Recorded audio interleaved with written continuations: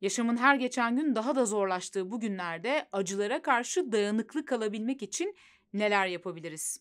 Bugün güzel bir hikaye ile bu konuya değineceğiz. Hintli yaşlı bir usta çırağının sürekli olarak her şeyden şikayet etmesinden bıkmıştı. Bir gün onu tuz almaya gönderdi. Yaşamındaki her şeyden mutsuz olan çırak döndüğünde yaşlı usta ona bir avuç tuzu alıp bir bardak suya atıp içmesini söyledi. Çırak denileni yaptı. Ancak su aşırı acı geldiği için suyu içer içmez tükürmeye başladı. Yaşlı adam sordu. Tadı nasıl? Çırak öfkeyle acı diye cevap verdi. Usta bu defa da çırağın kolundan tuttu ve onu dışarıya çıkardı. Sessizce hemen yakınlardaki bir gölün kıyısına geldiler. Usta çırağına şöyle söyledi. Şimdi aynı miktardaki tuzu al ve bu gölün içine at. Çırak denileni yaptı. Ardından usta devam etti. Tuzu attın mı? Güzel. Şimdi de gölden eğil ve su iç. Çırak yine denileni yaptı ve kana kana gölden su içmeye başladı. Ardından ustamız tekrar sordu. Tadı nasıl? Ağzının kenarlarından akan suyu koluyla silen çırak ferahlatıcı diye yanıt verdi. Usta sordu. Tuzun tadını aldın mı? Hayır diye cevapladı çırağı. Bunun üzerine yaşlı adam suyun yanına diz çökmüş olan çırağının yanına oturdu ve şöyle dedi. Yaşamdaki ızdıraplar aynı tuz gibidir. Ne az ne de çok, hep aynı miktardadır. Izdırabın acılığı ise neyin içine konulduğuna bağlıdır. Izdırabın olduğunda yapman gereken tek şey kendi zihnini genişletmektir. Onun için sen de bardak olma, göl ol. Peki ama bu ne demek ve nasıl başarılabilir? Hayatta bazı deneyimler yaşarız ve bu deneyimlerin ardından zihnimize otomatik olarak bazı düşünceler gelir. Yani yaşadığımız bu deneyimleri yorumlarız. Diyelim ki göğsünüzde bir ağrı hissettiniz. Belki de klima çarptı.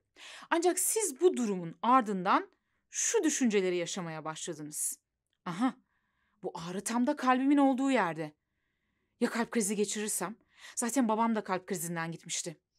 Ya ölürsem? Ölürsem çocuklarıma ne olur? Çocuklarım annesiz babasız kalırlar. Öksüz yetim olurlar. Bakın, herhangi bir deneyim yaşadım.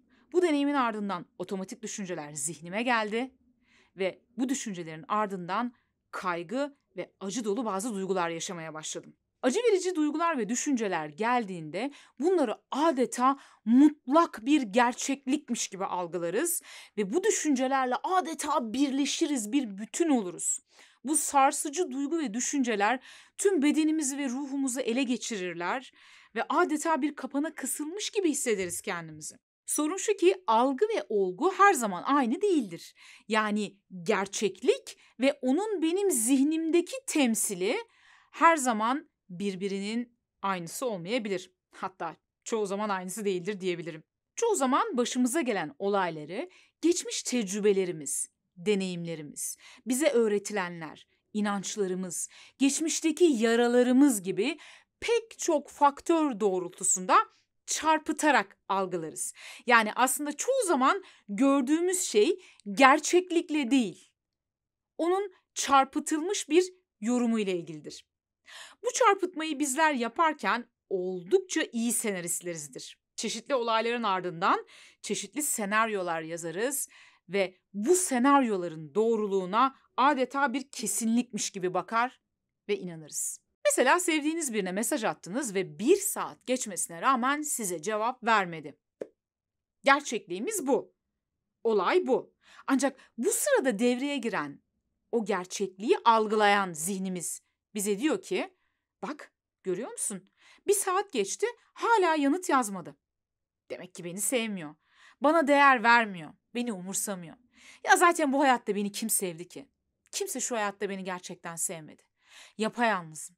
E tabii ki bu algılama biçiminin ardından da içine gireceğimiz duygu durumu acı verici duygular oluyor. Oysa belki de e, gerçekten de mesajı attığınız kişi o mesajı görmedi ya da gerçekten başka önemli bir işi var. Bunları düşünmeyiz bile. Kendi algı biçimimiz doğrultusunda çoktan kararımızı vermişizdir ve karaları bağlamışızdır.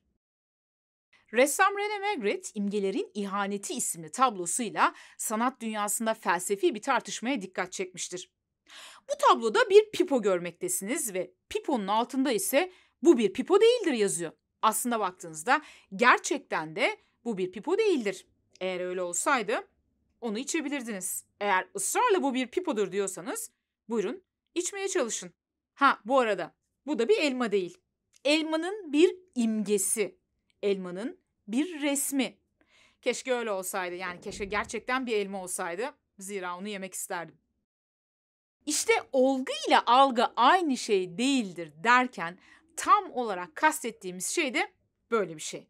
Düşüncelerimiz çoğu zaman gerçeğin kendisini değil, onun çarpıtılmış bir temsilini bize yansıtırlar. Ve düşüncelerimiz ne yapmamız ya da ne olmamız gerektiği konusunda bize direktif veren şeyler değil, çoğu zaman sadece düşüncelerdir.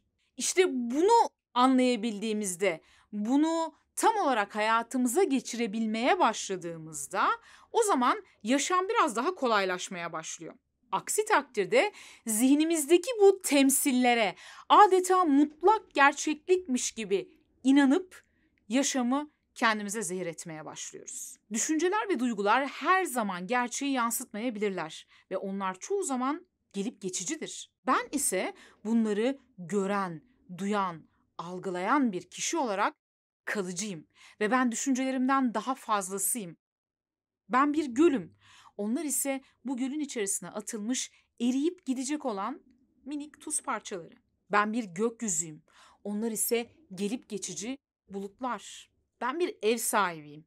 Onlar ise gelip gidecek olan misafirler. Sadece bu düşünce biçimi dahi yani o bütünleştiğimiz duygularımızı ve düşüncelerimizi aslında kendimizden ayrı birer varlık olarak görebilmek ve onları onlara kapılmadan, onların etkisine girmeden orada olduklarını bilip onları gözlemleyebilmek, onların gelip geçici olduklarını bilmek, benim onlardan daha büyük olduğumu bilmek, onlardan ibaret olmadığımı bilmek, koskoca bir göl olduğumu bilmek dahi başlı başına benim bu acılarla daha rahat baş edebilmemi sağlayacak. Tabii bu felsefeyi tam anlamıyla hayatımıza geçirebilmek için yapabileceğimiz bazı egzersizler var ki bu egzersizlerden kanalımda bahsediyorum.